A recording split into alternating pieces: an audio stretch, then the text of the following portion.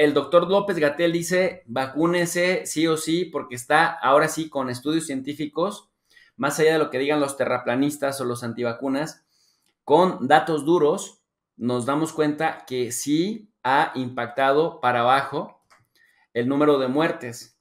Esto significa que, poniéndolo en otro esquema, a mayor nivel de vacunación, menor riesgo de muertes. Esto también lo dice el doctor Guillermo Torre, quien a su vez es rector del TEC Salud y vicepresidente de investigación, cardiólogo y promotor del bienestar, prevención y longevidad para transformar la salud en México. Y dice lo, lo siguiente, si no te gustan las vacunas pero entiendes de apuestas, considera, si estás vacunado, tienes cerca de 100 veces más ventaja de no morir o enfermar grave si llegaras a contagiarte que si no estás vacunado.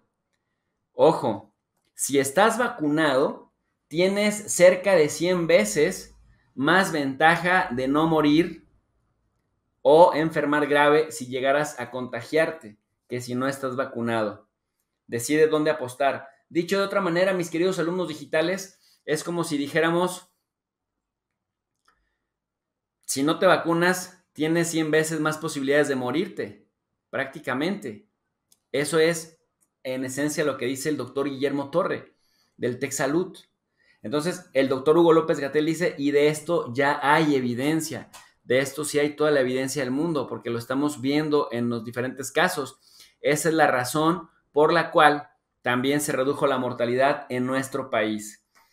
También el doctor Guillermo Torre pone esta, esta segunda, este segundo tuit en el que nos dice que otra importante complicación post-COVID, no ampliamente conocida, es que la infección es capaz de precipitar infarto agudo al miocardio, ataque al corazón y accidente cerebrovascular o embolia cerebral. Otra gran razón para vacunarte y cuidarte y sobre todo cuidar también a los tuyos.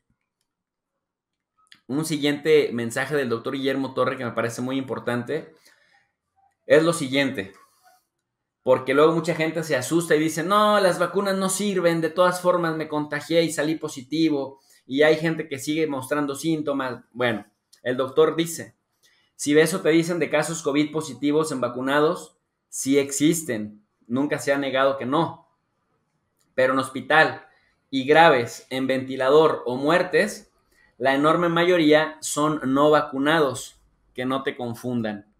Así que ahí tienen mis queridos alumnos digitales una razón más para sí o sí vacunarse.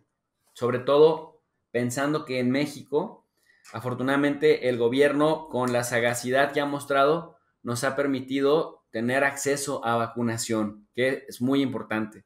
Fíjense que en días pasados he estado eh, escuchando gente que se ha contagiado, que de pronto suelen decir que ellos se trataron parte del COVID, parte de su problema del COVID, pues con antibióticos. Y para serles sinceros, no tiene mucho sentido. Entonces, empecé a, charlar de esto y uno de estas, de estas eh, personas que también nos han ayudado, nos han venido orientando, un profesional de la salud que nos ha venido orientando con esto, es justamente el doctor Héctor Frisby, que se encuentra en Colorado. El doctor Frisby, ustedes recordarán, ya eh, tiene una agenda de medios muy interesante, participa con Meme Yamel los martes, hoy tuvo una entrevista con Julio Astillero, de pronto sale también con los periodistas en la página de Sin embargo, el canal de Sin embargo. El doctor Frisby eh, ahora radica en Colorado, pero ha estado muy atento a lo que se está llevando a cabo con el tema del COVID.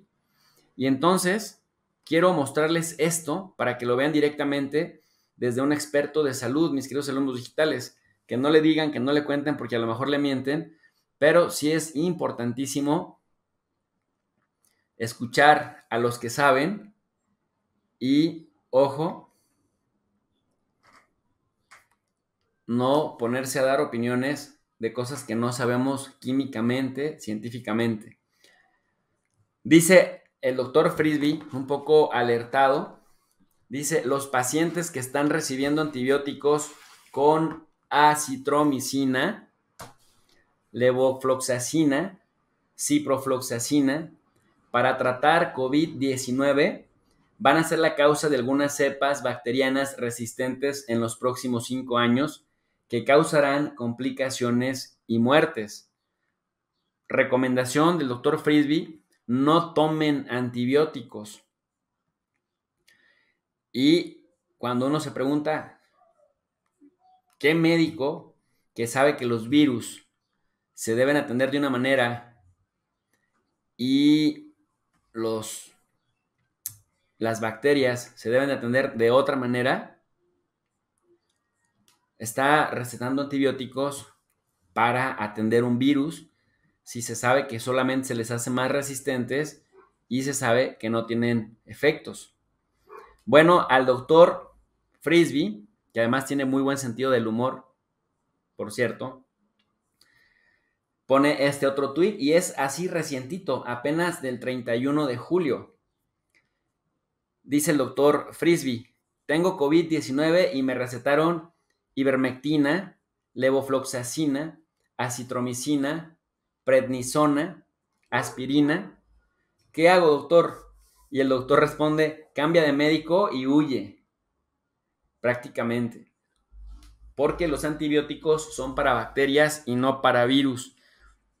Y yo pensé, porque un, un familiar mío que se contagió de COVID, cuando me dijo, me mandó el kit de medicamentos que le recetó su médico y ahí venía la acitromicina y la ivermectina. Y entonces yo recordé esto que ha venido advirtiendo el doctor Frisby y dije, no, esto no está bien.